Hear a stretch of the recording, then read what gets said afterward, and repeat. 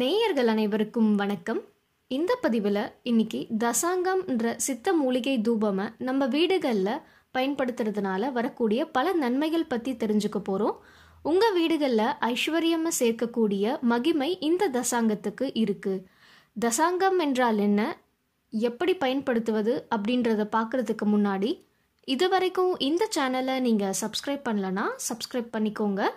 எங்களோட பதிவுகளை தவறாமல் நீங்கள் பார்க்க பக்கத்தில் இருக்கக்கூடிய பெல் பட்டனையும் ப்ரெஸ் பண்ணிக்கோங்க. சரி வாங்க வீடியோக்குள்ளே போகலாம். தசாங்கம் என்பது தூபம் போட பயன்படும் ஒரு வகையான சாம்பிராணி ஆகும்.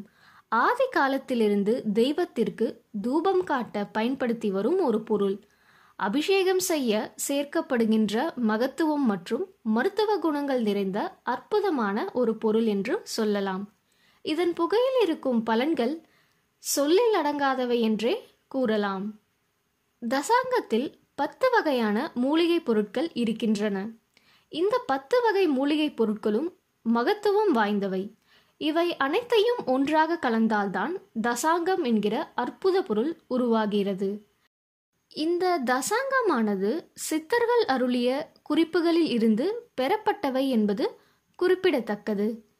தசாங்கத்தில் உள்ள பத்து பொருட்கள் வெட்டிவேர் லவங்கம் வெள்ளை குங்குளியம் ஜாதிக்காய் மட்டிப்பால் சந்தனத்தூள் நாட்டு சர்க்கரை திருவட்டப்பச்சை சாம்பிராணி கீச்சிலி கிழங்கு.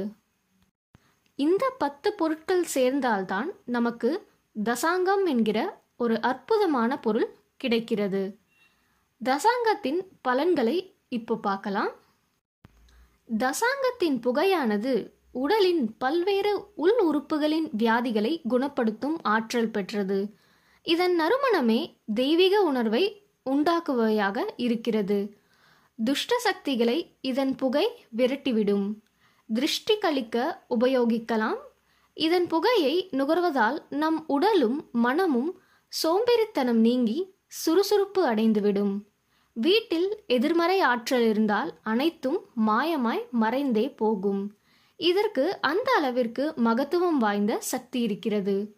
கோவில்களில் இருக்கும் நறுமணம் போல நம் வீட்டிலும் அதன் மனம் நிறைந்து இருக்கும். உங்கள் தெருவே மணக்கும்.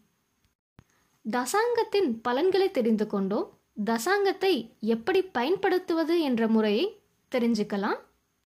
தசாங்கமானது கூம்பு வடிவ சாம்பிராணி போல் நாட்டு மருந்து கடைகளில் அல்லது இணையதளத்தில் கிடைக்கப்பெறுகிறது. அதனை ஏற்றி வீடுகளில் மூளை முடுக்குகள் விடாமல் காண்பிக்க வேண்டும். இறைவனுக்கு காண்பிக்க வேண்டும். குழந்தைகளுக்கு உடல் முழுவதும் படும்படி காண்பிக்க வேண்டும். திருஷ்டி கழிப்பதற்கு யாருக்கு திருஷ்டி கழிக்க வேண்டுமோ அவர்களை கிழக்கு பார்த்து உட்கார வைத்து மும்முறை சுற்றி திருஷ்டி கழிக்கலாம்.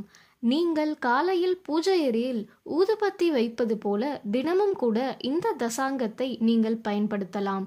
இதனால் உங்கள் வீட்டில் இருக்கும் எதிர்மறை ஆற்றல்கள் நீங்கி சகலவிதமான ஐஸ்வர்யமும் வீட்டில் சேரும்.